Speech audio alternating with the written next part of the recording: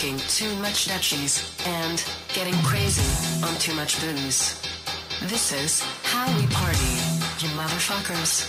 So we gonna get crunk like this, and we getting fucked up. We gotta wait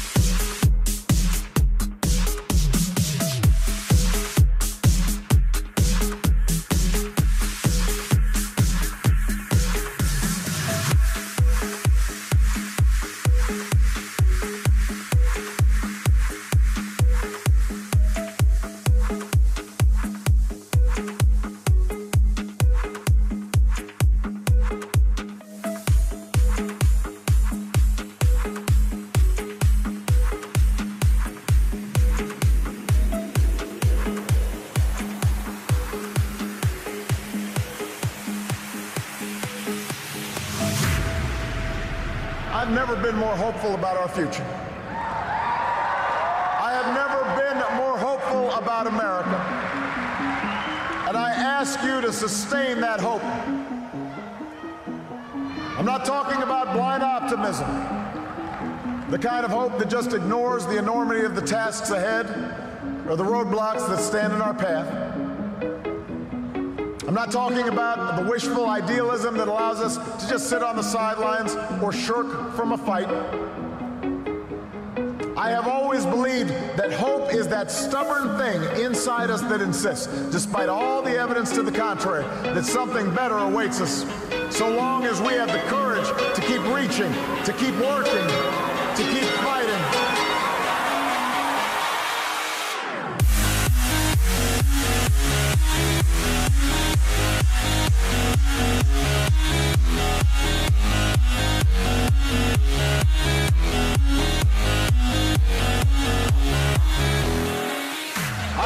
We can keep the promise of our founder. The idea that if you're willing to work hard, it doesn't matter who you are, or where you come from, or what you look like, or where you love. It doesn't matter whether you're black or white, or Hispanic, or Asian,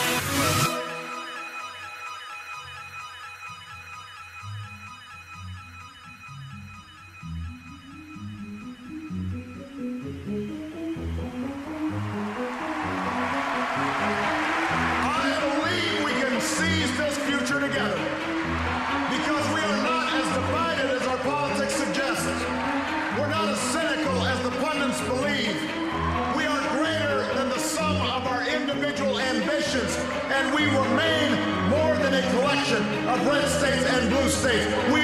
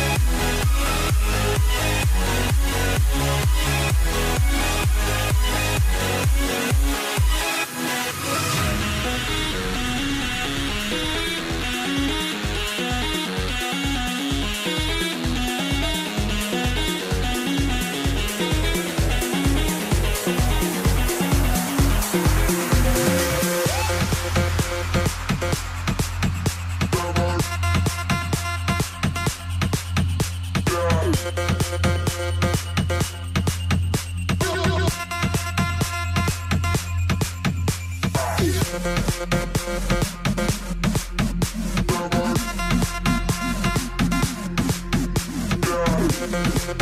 you.